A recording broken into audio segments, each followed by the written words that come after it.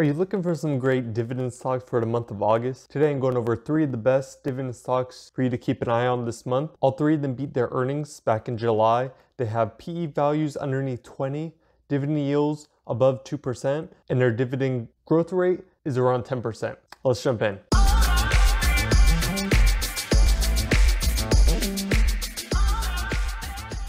And if you're here analyzing stocks to help you on your investing journey, let's jump into the first one. First company I go over is Taiwan Semiconductor, ticker symbol TSM. They're the world's largest dedicated chip foundry. They manufacture, package, and sell integrated circuits and other semiconductor devices. Their main products are used in mobile devices, high performance computing, automated electronics, and Internet of Things markets.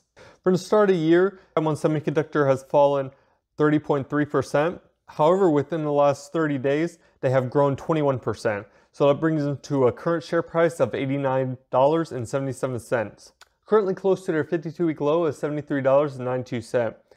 Their current market cap is $446 billion, and they have a 4P value of 14.19. Now, if you're, you're wondering what PE is, it stands for price to earnings, and that is the current share price of $89 divided by the earnings per share, which is 6.33, and I'll give you the 14.19. Now, Taiwan Semiconductor had earnings per share of $1.55, so they beat it by 5 cents. Also beat their revenue by $580 million, so that was a 36.6% increase. Now, looking at their revenue on their income statement, you can see here that year over year, they have been slowly growing their revenue, and there's been a spike up this last year from 46 billion to 57 billion. Scrolling down here, we can look at its net income. So this is their profit. Once again, you can see year over year, they have grown their profit, except for in 2019, they had a slight drop from $11.5 billion to $10.7 billion. But overall, they have been growing in a nice pop-up right there. Here, we'll look at the shares outstandings. Right here, you can see that they have or bought back any of their shares. So, so that's a good sign, at least staying stagnant.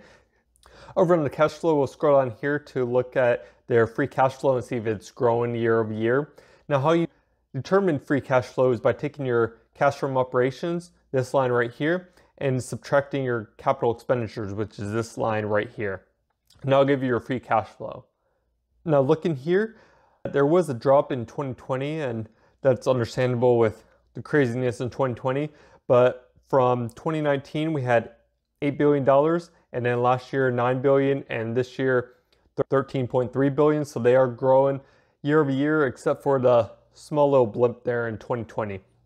Now, what is important about free cash flow is it allows the company to do five different things.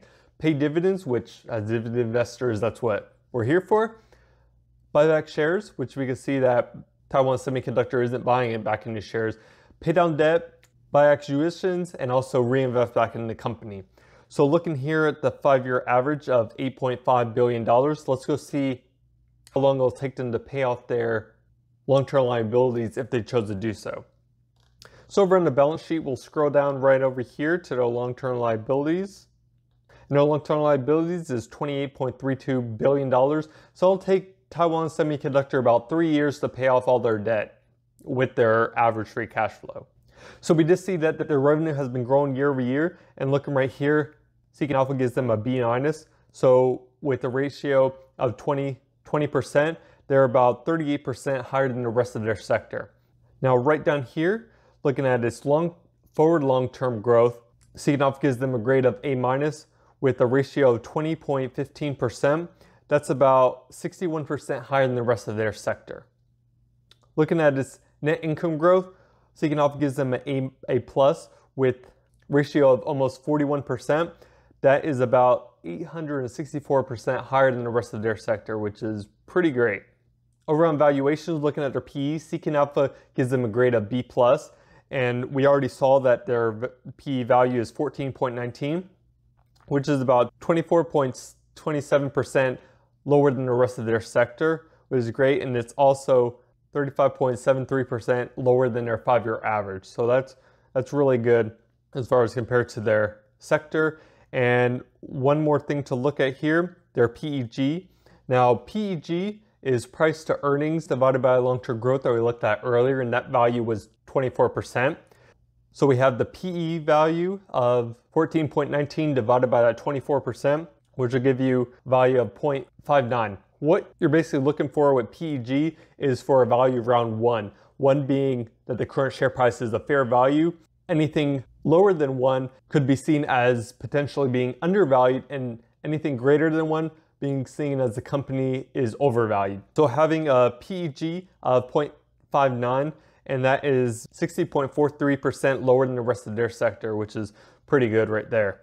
Taiwan Semiconductor's dividend yield is 2.06%, and I'll give you an annual dividend of $1.93 with a payout ratio of 7.15%, which is pretty nice that they're only paying 7, uh, 7% of their earnings.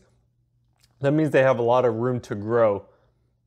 And then for the last five years, they have grown that dividend at a rate of 10.83%. And their dividend growth is a nice one year. Now looking here at analysts' rating, they are considering this as a buy as well as a nice healthy dividend rating of 80. Next up is Comcast, ticker symbol CMCSA. Comcast is a media and technology company that's worldwide. They have four different segments. First one being cable communications, which includes all their broadband, video, and wireless. You all may be familiar with Xfinity. They have a media segment which is, includes NBC, Peacock, and Telemundo. The third segment is theme parks. One of the biggest is Universal Studios in Orlando, Florida. And lastly, they have Sky, which they acquired in 2018, and it's a direct-to-consumer service that is in the UK. From the start of the year, they have fallen 24.5%. In the last month, they have fallen 2.12%, largely due to the drop in earnings, which is right here on July 28th, to a current share price of $30.27, and they're very close to their 52-week low, which was $36.58. They have a current market cap of $168 billion and a current PE of 10.68 talking about earnings, they did beat their earnings by 9 cents. And also they beat their revenue by $3 million, which was a 5.2% increase. One of the reasons the share price did fall was their failure to add new use, new broadband users. But as for us long-term dividend investors, that's a good sign because now the stock is at a discount. Looking at the revenue, we can see year over year they have been increasing and a nice spike up right here from $104 billion to $120 billion. Scrolling on here to their net income, looking right here, the last couple years it's been pretty steady around that $12 billion. We do have a big spike up in 2018, most likely due to their acquisition of Sky that year. And we have a nice increase along with that spike up in revenue. We have a spike up in net income from 11.7 billion to 14.3 billion. Scroll now once more to the shares outstanding. We can see right here that they did issue some shares back in 2020 and they have since then fully bought it back. So year over year, we, we, can see that they are buying back shares. Over on their cash flow, just scrolling down here to their free cash flow. And looking here, we can see that they had a slight drop in 2020, but overall they have been growing their cash flow year over year. So I'll bring them to a current average of 13.5 billion. So let's look at their long-term liabilities and see how long it'll take them to pay off that debt. So on the balance sheet, just scrolling down here to their long-term liabilities, whew, they have $147.9 billion in long-term liabilities. With their average free cash flow, that'll take them about 10 to 11 years. Pretty long time, so that's the one thing you want to keep in mind that they have a lot of debt, which is not always a bad thing, but you do want to keep that in mind. Now, as far as growth, right here for the revenue growth, Seeking Alpha gives them a grade of C, having a ratio of 5.81%. They're about 26% lower than the rest of their sector. Over down here for the long-term growth, Seeking Alpha gives them a grade of C with a ratio of 11.79%. That's about almost 2% lower than the rest of their sector. However, with their low revenue growth, they do have a high net income margin. Seeking Alpha gives them a grade of A minus with a ratio of 11.54%. That's about 150% higher than the rest of their sector, which is pretty great. Next, for valuations with a grade of B plus for their PE with the ratio of 10.63, that is 41.5% lower than the rest of their sector. And also uh, 32.5% lower than their five-year average. Right down here for their PEG, Alpha gives them a grade of B with a value of 0.9 and that is 37% lower than the rest of their sector. Good sign on valuation and profitability. As for Comcast dividend, we have a dividend yield of 2.82%. That'll give you an annual payout of $1.08 with a payout ratio of 29.63%. And that'll give you a growth rate for the last five years of 12% and a nice consistent dividend growth for the last two years. So analysts consider Comcast as a buy right now, and they have a healthy dividend grade of 85. If you've been finding value in this content so far, let me know by smashing that like button.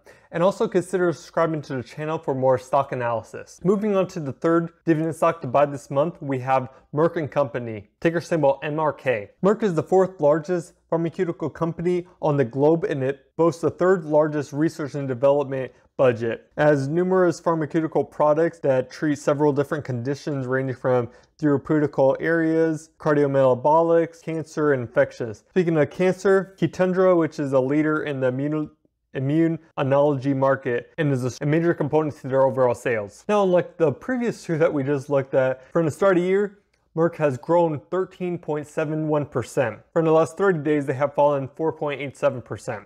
That'll bring them to a current share price of $87.41. They're above their midpoint in their 52 week range, pretty close to their high of $95.72. They have a current market cap of $221 billion with a current PE of 10.85.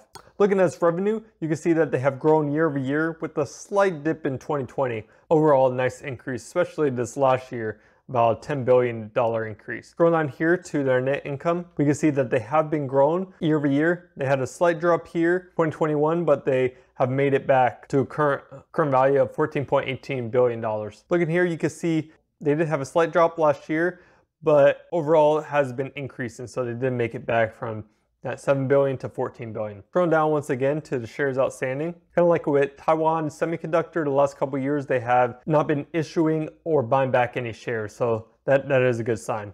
Over on the cash flow, just scroll down here to the free cash flow. Here they have been growing year over year. Last year with a slight drop in their income statement, their net income, there is going to be a slight drop in their free cash flow. But I'll bring to an average of $8.44 billion. So moving on to their balance sheet, or compared to the long-term liabilities. So over on their balance sheet, we're going to scroll down here for the long-term liabilities. They have a total of $43.4 billion. So with their current average free cash flow, that'll be about five years to pay off all their long-term liabilities if they chose to do so. Looking at their growth, right now Seeking Alpha does give them a D plus for their forward growth, having a ratio of 6.13%. It's about 55% lower than the rest of their sector. However, looking at their five-year average, that is a 26.5% increase. So they are moving into the right direction. Right on here for their long-term growth, Seeking Alpha gives them a grade of C with a ratio of 10.95%. It's about 5 5.3% lower than the rest of their sector. Profitability wise, Seeking Alpha gives them an A plus with a ratio of 29% compared to their sector having a negative average of 2.6%. So that is a, a, nice plus for Merck. And as far as their valuation, Seeking Alpha gives them an A minus for their PE with a value of 10.85. That is 42% lower than the rest of their sector. And their PEG right on here, Seeking Alpha also gives it a grade of A minus with a value of 1.08, about 47% lower than the rest of their sector. So that's good. As for dividends, Merck has a dividend yield of 3.16%. That'll give you an annual payout of $2.76 with a payout ratio of 35.45%. And they have a growth rate for the last five years of 8.81%. And they have been growing that dividend consistently for the last 11 years. So analysts consider Merck here as a buy. And they have a nice dividend grade of 69. Those are the three stocks to buy this month. Let me know your thoughts down in the comments. Remember, I'm not a financial advisor, so always do due diligence before investing in any of these stocks. If you're looking for more dividend stocks to add to your portfolio, check out this latest video of four super safe dividend stocks for you to consider buying. Catch you next video. Peace.